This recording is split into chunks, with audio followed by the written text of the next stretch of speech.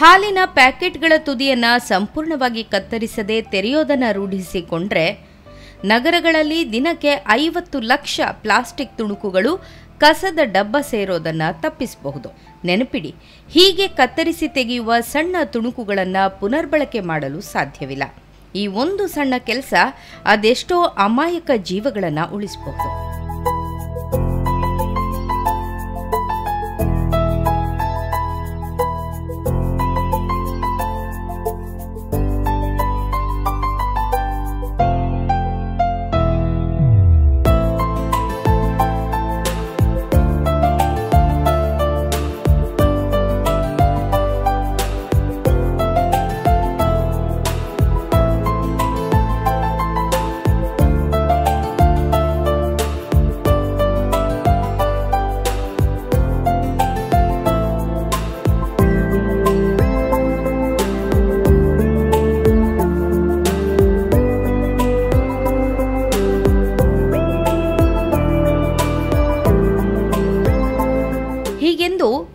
ತೇಜಸ್ವಿನಿ ಅನಂತ್ ಕುಮಾರ್ ಅವರು ಎರಡ್ ಸಾವಿರದ ಹತ್ತೊಂಬತ್ತರ ಮಾರ್ಚ್ ಆರರಂದು ಟ್ವೀಟ್ನಲ್ಲಿ ತಿಳಿಸಿದ್ರು.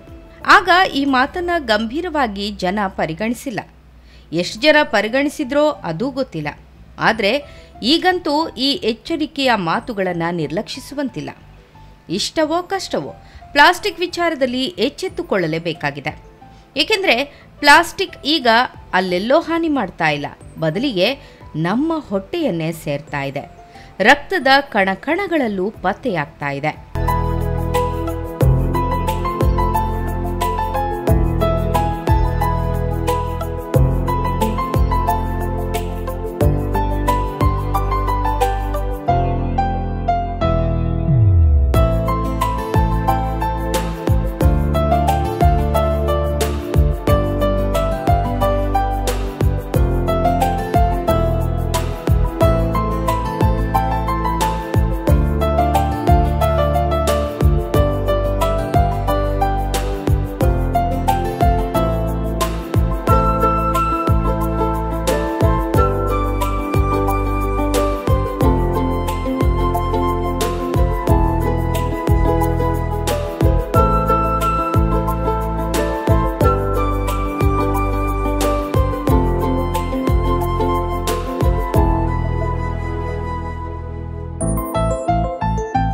ಎರಡ್ ಸಾವಿರದ ಇಪ್ಪತ್ತೆರಡರಲ್ಲಿ ನೆದರ್ಲೆಂಡ್ನ ಆಮ್ಸ್ಟರ್ಡಾಮ್ ವಿವಿಯ ಸಂಶೋಧಕರು ತಮ್ಮ ಸಂಶೋಧನೆಯ ಭಾಗವಾಗಿ ಒಂದಷ್ಟು ಜನರ ರಕ್ತವನ್ನು ಪರಿಶೀಲಿಸಿದಾಗ ಆಘಾತಕ್ಕೆ ಒಳಗಾಗಿದ್ರು.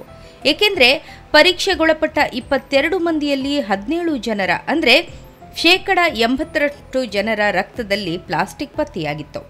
ಈ ಪ್ಲಾಸ್ಟಿಕ್ ಕಣಗಳು ಏಳ್ನೂರು ನ್ಯಾನೋಮೀಟರ್ಗಳಷ್ಟು ಸೂಕ್ಷ್ಮವಾಗಿತ್ತು.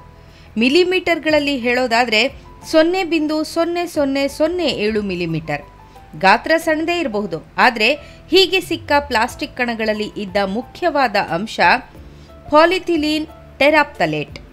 ಇದನ್ನು ಪ್ಲಾಸ್ಟಿಕ್ ಬಾಟಲ್ಗಳನ್ನು ಉತ್ಪಾದನೆಯಲ್ಲಿ ಬಳಸಲಾಗುತ್ತದೆ. ಪ್ಲಾಸ್ಟಿಕ್ನ ಅವಾಂತರ ಇಷ್ಟಕ್ಕೆ ಮುಗಿಯೋದಿಲ್ಲ. ರಕ್ತದಲ್ಲಿ ಪ್ಲಾಸ್ಟಿಕ್ ಪತ್ತೆಯಾದ ಬಳಿಕ ಪುರುಷರ ಸಂತಾನೋತ್ಪತ್ತಿ ವ್ಯವಸ್ಥೆಯಲ್ಲೂ ಪ್ಲಾಸ್ಟಿಕ್ ಪತ್ತೆಯಾಗಿದೆ. ತಂಪು ಪಾನೀಯ ಹಾಗೂ ನೀರನ್ನು ಕುಡಿದು ಎಲ್ಲೆಂದರಲ್ಲಿ ಎಸೀತಾ ಇರೋ ಪ್ಲಾಸ್ಟಿಕ್ ಬಾಟಲ್ಗಳು ಚೂರು ಚೂರಾಗಿ ಮೈಕ್ರೋಪ್ಲಾಸ್ಟಿಕ್ ರೂಪ ತಳೆದು ನಮ್ಮ ದೇಹದ ಕಣಕಣವನ್ನು ಸೇರ್ಕೊಳ್ತಾ ಇರೋದು ಖಂಡಿತವಾಗಿಯೂ ನಿರ್ಲಕ್ಷಿಸುವ ವಿಚಾರನೇ ಅಲ್ಲ.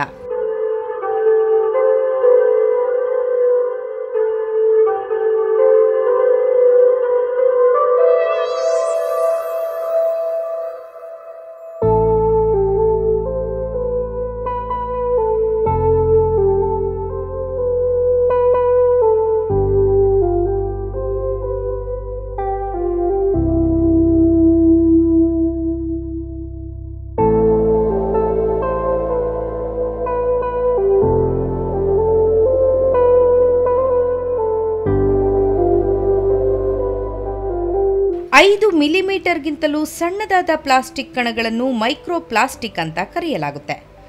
ನೂರು ನ್ಯಾನೋಮೀಟರ್ ಅಥವಾ ಅದಕ್ಕಿಂತ ಸಣ್ಣ ಗಾತ್ರದ ಪ್ಲಾಸ್ಟಿಕ್ ತುಣುಕುಗಳನ್ನು ನ್ಯಾನೋ ಪ್ಲಾಸ್ಟಿಕ್ ಎನ್ನಲಾಗುತ್ತೆ.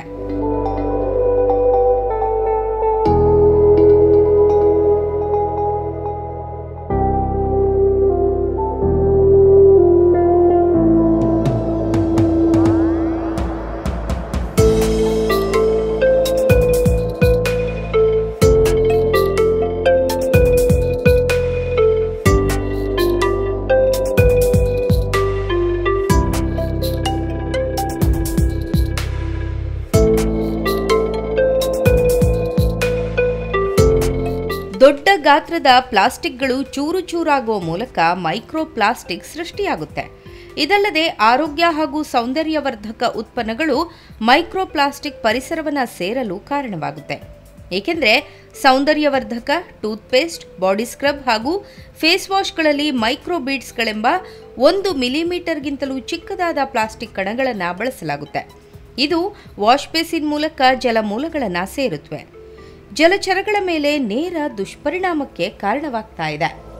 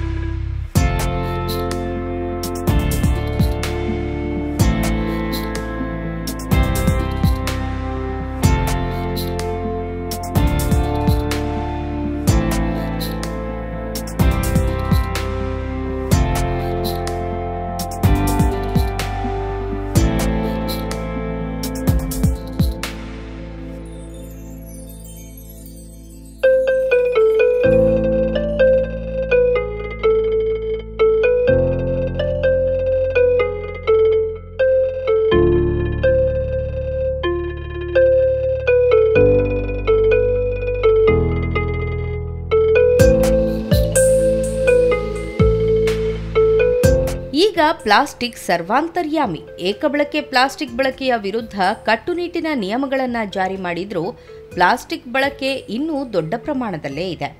ಸರಿಯಾಗಿ ವಿಲೇವಾರಿಯಾಗದ ತ್ಯಾಜ್ಯ ಭೂಮಿಯನ್ನು ಸೇರ್ತಾ ಇದೆ. ಶಿಥಿಲವಾಗಿ ಪುಡಿ ಪುಡಿಯಾಗುವ ಪ್ಲಾಸ್ಟಿಕ್ಗಳು ಆಹಾರವನ್ನು ಸೇರಿಕೊಳ್ತಾ ಇದೆ. ಇದು ಜೀರ್ಣಕ್ರಿಯೆ, ಉಸಿರಾಟ, ಸಂತಾನೋತ್ಪತ್ತಿ ಹಾಗೂ ರೋಗನಿರೋಧಕ ಶಕ್ತಿ ಸೇರಿದಂತೆ ಮಾನವ ದೇಹದ ಮೇಲೆ ಗಂಭೀರ ದುಷ್ಪರಿಣಾಮವನ್ನುಂಟು ಮಾಡುತ್ತದೆ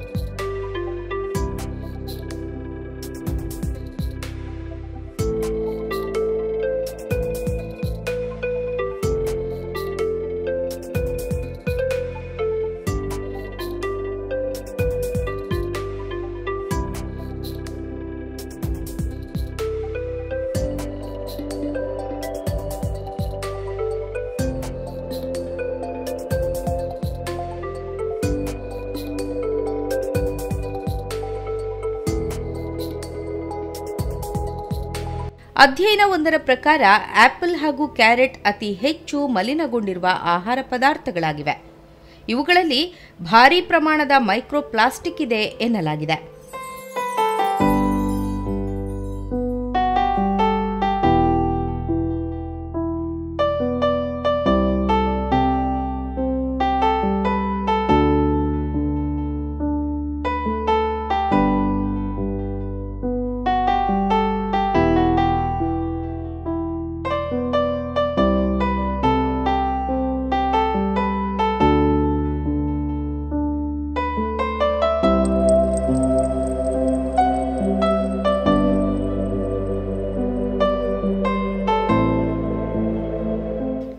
ವನ್ಯಜೀವಿ ನಿಧಿಯಡಿ ನಡೆದ ಅಧ್ಯಯನದ ಪ್ರಕಾರ ವ್ಯಕ್ತಿಯೊಬ್ಬರು ಪ್ರತಿದಿನ ಐದು ಗ್ರಾಂ ಮೈಕ್ರೋಪ್ಲಾಸ್ಟಿಕ್ ಸೇವಿಸ್ತಾರೆ. ಅದೇ ರೀತಿ ಇನ್ನೊಂದು ಸಂಶೋಧನೆಯು ಪ್ರತಿ ವ್ಯಕ್ತಿ ಒಂದು ವರ್ಷಕ್ಕೆ ಐವತ್ತು ಸಾವಿರ ಪ್ಲಾಸ್ಟಿಕ್ ಕಣಗಳನ್ನು ಸೇವಿಸ್ತಾನೆ ಎಂದಿದೆ. ಆದರೆ ವಾಸ್ತವದಲ್ಲಿ ಈ ಸಂಖ್ಯೆ ದೊಡ್ಡ ಪ್ರಮಾಣದಲ್ಲಿದೆ.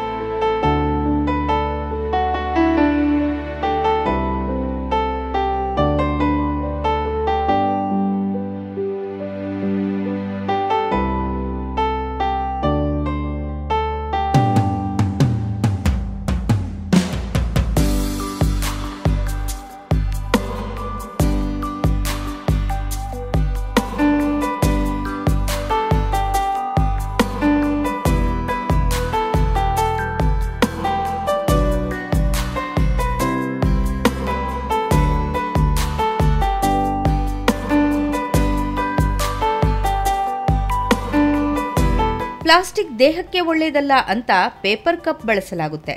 ವಿಪರ್ಯಾಸ ಅಂದರೆ ದ್ರವ ಆಹಾರ ಹಾಕಿದಾಗ ಪೇಪರ್ ಮುದ್ದೆಯಾಗಬಾರ್ದು ಅಂತ ಈ ಪೇಪರ್ ಕಪ್ಗಳಿಗೆ ತೆಳುವಾದ ಪ್ಲಾಸ್ಟಿಕ್ ಕೋಟಿಂಗ್ ಹಾಕಲಾಗುತ್ತೆ. ಈ ಕೋಟಿಂಗ್ ಬಿಸಿ ಟೀ ಅಥವಾ ಕಾಫಿ ಮೂಲಕ ನೇರವಾಗಿ ಹೊಟ್ಟೆಯನ್ನು ಸೇರ್ತಾ ಇದೆ.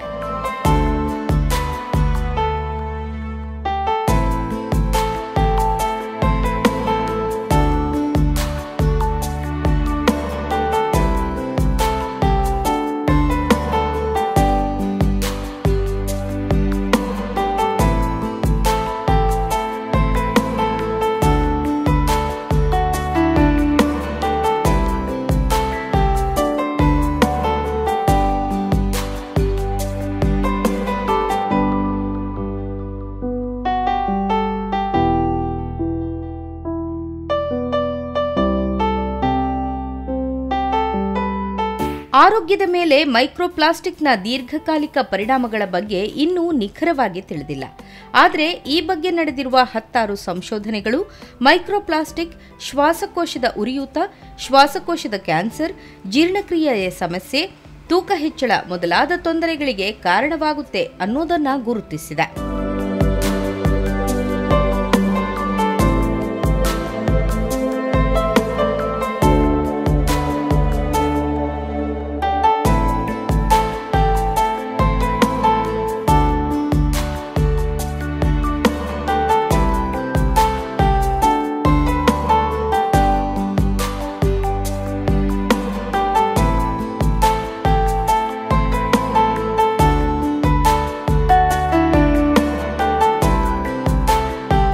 ಸಮುದ್ರದಲ್ಲಿ ಪ್ಲಾಸ್ಟಿಕ್ ಇರುವ ಬಗ್ಗೆ ಮೊತ್ತ ಮೊದಲ ವರದಿ ಸಾವಿರದ ಒಂಬೈನೂರ ಎಪ್ಪತ್ತೆರಡರಲ್ಲೇ ಪ್ರಕಟವಾಗಿತ್ತು.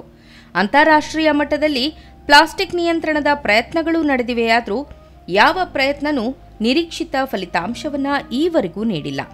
ಪ್ಲಾಸ್ಟಿಕ್ ಸಾಗರವನ್ನ ಸೇರ್ತಾನೆ ಇದ್ದು, ಈ ಪ್ಲಾಸ್ಟಿಕ್ನಿಂದಾಗಿ ಪ್ರತಿ ವರ್ಷ ಒಂದು ಲಕ್ಷ ಹಕ್ಕಿಗಳು ಹಾಗೂ ಜಲಚರಗಳು ಸಾವನ್ನಪ್ತಾ ಇವೆ. ಅಂದಹಾಗೆ, ಒಂದು ವಾರದ ಹಿಂದೆಯಷ್ಟೇ ಪ್ರಕಟವಾದ ವರದಿ ಪ್ರಕಾರ ಅಂಟಾರ್ಟಿಕಾದಲ್ಲಿರುವ ಅಡೇಲಿ ಪೆಂಗ್ವಿನ್ಗಳ ಅಂಗಾಂಶಗಳಲ್ಲೂ ಮೈಕ್ರೋಪ್ಲಾಸ್ಟಿಕ್ ಪತ್ತೆಯಾಗಿದೆ.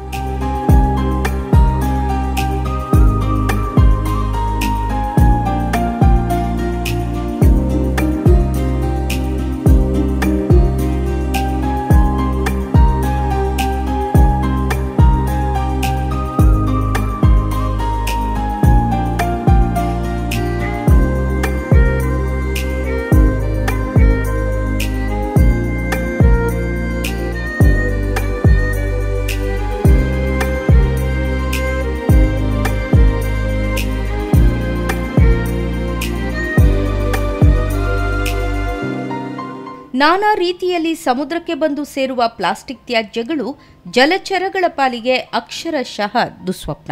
ಜಲಚರಗಳು ಈ ಪ್ಲಾಸ್ಟಿಕ್ ಜಾಲದಲ್ಲಿ ಸಿಲುಕಿ ನರಕ ಸದೃಶ ಸಾವನ್ನೂ ಕಾಣುತ್ತವೆ. ಮೈತುಂಬ ಸುತ್ತಿಕೊಳ್ಳುವ ಪ್ಲಾಸ್ಟಿಕ್ ಅನ್ನ ಬಿಡಿಸಿಕೊಳ್ಳಲು ಕೈಗಳೇ ಇಲ್ಲದ ಈ ಜಲಚರಗಳ ಅಂತ್ಯ ದಾರುಣವಾಗಿರುತ್ತದೆ ಆದರೆ ಹೀಗೆ ಪ್ಲಾಸ್ಟಿಕ್ನಿಂದ ತೊಂದರೆಗೊಳಗಾಗುವ ಜಲಚರಗಳನ್ನು ರಕ್ಷಿಸೋದಕ್ಕಾಗಿಯೇ ಜಗತ್ತಿನಾದ್ಯಂತ ಒಂದಷ್ಟು ಜನ ಕೆಲಸ ಮಾಡ್ತಾರೆ. ಅವರಲ್ಲಿ ತಮಿಳುನಾಡಿನ ಟಿ. ಎ. ಪುಗಳರಸ್ ಕೂಡ ಒಬ್ರು.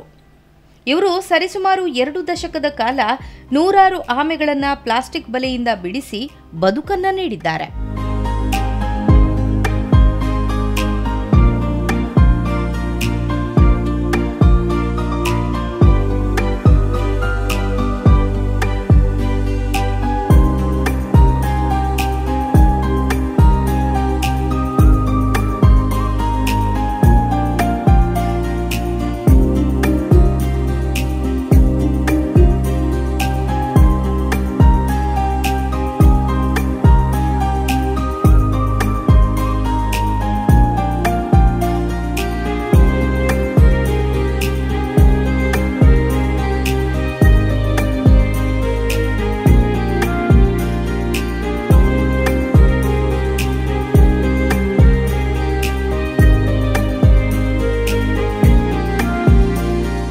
ಪ್ರತಿ ವರ್ಷ ಜಗತ್ತಿನಾದ್ಯಂತ ಮುನ್ನೂರೈವತ್ತು ಕೋಟಿ ಪ್ಲಾಸ್ಟಿಕ್ ಬಾಟಲ್ಗಳನ್ನು ಎಸೆಯಲಾಗುತ್ತೆ.